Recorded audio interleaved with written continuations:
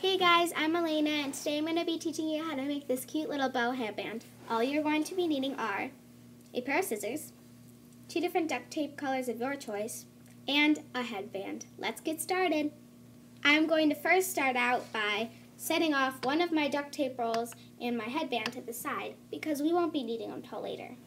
Take my other duct tape roll, I'm going to cut off a medium-sized piece for my bow. You want the right size, not too big and not too small. So that's about good. So I'm just going to trim that off.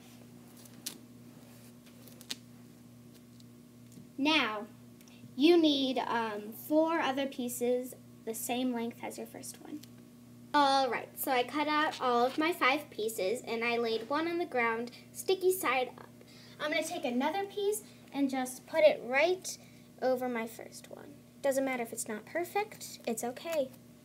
So here is my piece, double-sided. So you're going to make one more of these, so you have one extra piece left. After you have your two double-sided pieces, you're just going to place them together so the edges are just touching. You're going to take your last piece of duct tape and stick it over so that they're attached. Just like that. Now you have a square double-sided piece of duct tape. Now I'm going to teach you how to fold it. So you just want to take a little bit of your piece and fold it up, just like that. Then you're going to want to flip it over and fold it up once more. You're basically just going to want to keep folding it up, flipping it over and folding it up until you get to the end. So I'm just going to keep. Then you're just going to pinch it in the middle. There's your bow.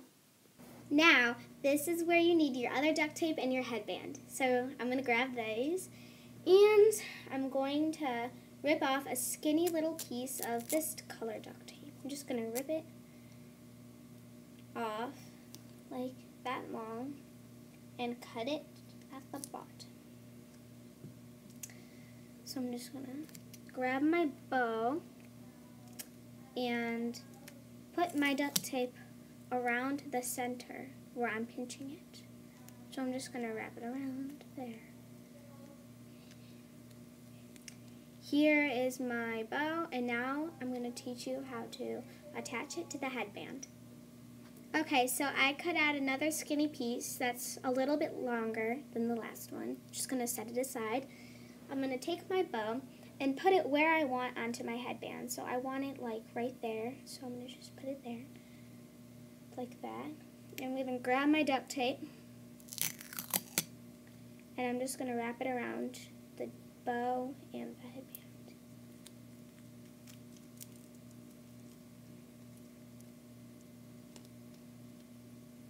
Just like that. So now your bow headband is all completed.